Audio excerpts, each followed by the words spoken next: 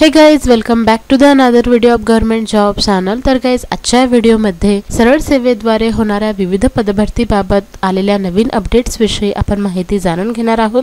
तर संपूर्ण व्हिडिओ पाहत राहा. तर गाईज सर्वात महत्त्वाचं म्हणजे सरळ सेवा पदभरतीसाठी नांदेड येथील स्मार्ट स्टडी पब्लिकेशननी काही महत्त्वाची पुस्तके पब्लिश केलेली आहेत, ज्यामध्ये सरळ सेवा पदभरतीसाठी अत्यंत उपयुक्त असणारी ही पुस्तके आहेत. तुम्ही पाहू शकतात की आरोग्य विभागाची सुद्धा यामध्ये पुस्तक पब्लिश करण्यात आलेला एकशे सत्तावन्न प्रश्नपत्रिकांचा संच आहे.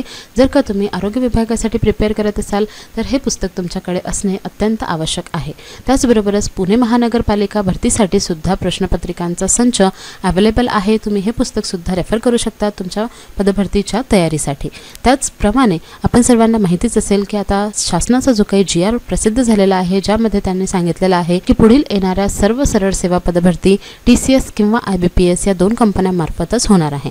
त्यामुळे त्यांनी T C S I B P S यांच्या अभ्यासक्रमावर आधारित पुस्तकेसुद्धा पब्लिश केलेली लिए ज्यामध्ये संपूर्ण बुद्धिमत्ता चाचणी यावर तीन हज़ार सोडवलेले प्रश्न आहेत आणि सरावासाठी तुम्हाला प्रश्न देण्यात आलेले त्यामुळे जर का तुम्ही कोणत्याही सरळ सेवा पदभरतीसाठी तयारी करत असाल, तर हे पुस्तके तुम्हाला अत्यंत गरजेची पडू शकतात. म्हणून जर का तुम्ही प्रिपेअर करत आहात, तर लवकरात लवकर हे पुस्तक तुम्ही परचेस करू शकतात. हे पुस्तके तुम्हाला कुठल्याही बुक स्टोअरवर इझिली अवेलेबल आहेत. त्याचप्रमाणे तुम्ही ऑनलाईनसुद्धा परचेस करू शकता. जर का तुम्हाला तरी कुठेही पुस्तक मिळत नसेल, तर तुम्ही डायरेक्टली या नंबरवर कॉल करून सुद्धा पुस्तक मागवू शकतात तर त्यामुळे गैज जर का तुम्ही प्रिपेअर करत आहात तर स्मार्ट स्टडी पब्लिकेशन नांदेड यांची हे पुस्तके तुमच्यासाठी अत्यंत उपयुक्त पडू शकतात. म्हणून लवकरात लवकर तुम्ही हे पुस्तकसुद्धा परचेस करू शकता. तर गैज तुम्ही पाहू शकतात सरकारी नोकऱ्यांना आता खाजगीकरणाची वाढवी लागणार असल्याची माहिती प्रभाग वृत्त सेवापत्रातून वर्तवली जात आहे. यामध्ये त्यांनी महत्त्वाची माहिती सांगितलेली आहे की प्रशासनावरील खर्च आटोक्यात ठेवण्यासाठी राज्य सरकारने शासकीय व निमशासकीय कार्यालयांत बाह्य यंत्रणेद्वारे नोकर भरती करण्याचा निर्णय घेतला आहे. एकीकडे जुन्या पेन्शन योजनेसाठी संघर्ष पेटला असताना शासनाकडून सरकारी नोकऱ्यांचे खाजगीकरण केले जात आहे. लाखो उमेदवार नोकरीच्या प्रतीक्षेत असताना आता कायमस्वरूपी सरकारी नोकरी ही संकल्पनाच मोडीत निघण्याची चिन्हे आहेत. यावरून सुशिक्षित उमेदवारांमध्ये संतापाची लाट पसरली आहे.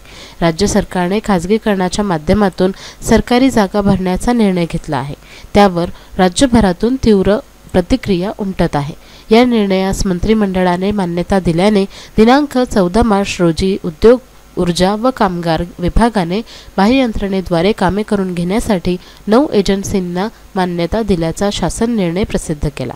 त्यामुळे तरुणांमध्ये तीव्र संताप असून हा निर्णय सरकारने तातडीने मागे घ्यावा अशी मागणी उमेदवारांकडून होत आहे. राज्य सरकारकडून पंच्याहत्तर हजार कर्मचारी भरतीची प्रक्रिया सुरू असल्याचे जाहीर केले जाते आणि दुसऱ्या बाजूला बाह्य स्रोताद्वारे नियुक्त्या करण्याचा निर्णय घेतला जातो. या निर्णयामागे सरकारची नेमकी भूमिका काय असा प्रश्न निर्माण होत आहे. पंच्याहत्तर हजार पदे अशाच प्रकारे भरणार का लोकसेवा आयोगाच्या परीक्षांची तयारी करणाऱ्या उमेदवारांची फसवणूक नाही का अशी विचारणा होत आहे. या सर्व पार्श्वभूमीवर टीका होत असताना राज्य सरकारने खाजगीकरणाचा प्रस्ताव हा महाविकास आघाडी सरकारच्या काळातील असून त्यांनीच निविदा काढल्या होत्या. आम्ही केवळ त्यावर अंतिम निर्णय घेतला अशी सारवासारव केली जात आहे.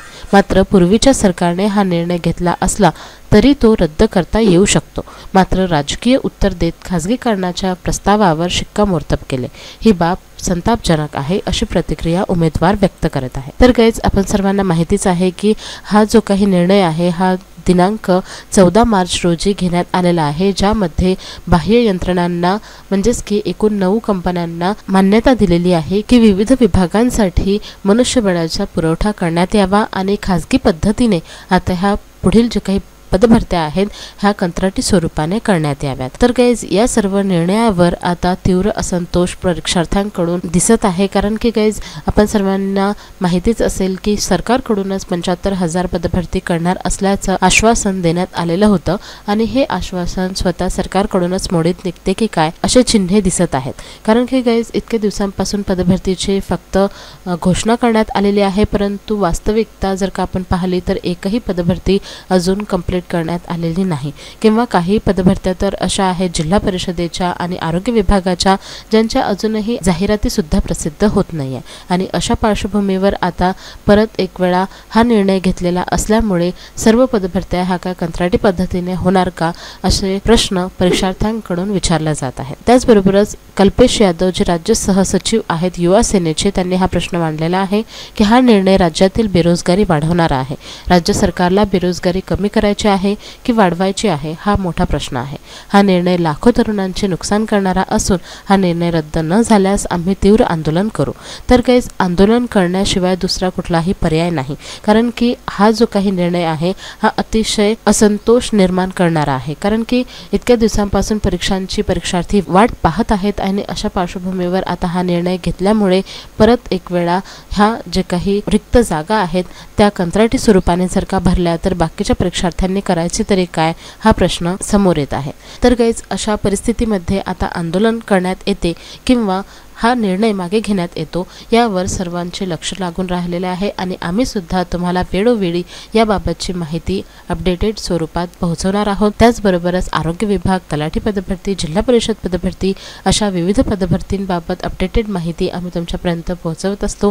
म्हणून जर का तुम्ही आमच्या चॅनलवर नवीन असाल, तर लवकरात लवकर चॅनलला सबस्क्राईब करून घ्या. त्याच पद्धतीने हे जे काही नवीन आर्टिकल प्रसिद्ध झालेलं होतं, त्याबाबतची माहिती मी तुमच्यापर्यंत पोहोचवलेली आहे. आय होप की तुम्हाला या व्हिडिओमधून माहिती माहिती मिळाली जर का तुम्हाला हा व्हिडिओ आवडला असेल तर व्हिडिओला नक्की लाईक करा, शेअर करा आणि जर का तुम्ही चैनल चॅनलवर नवीन असाल, तर लवकरात लवकर चॅनलला सबस्क्राईब करून घ्या अशाच नवनवीन अपडेटसाठी थँक्यू ऑल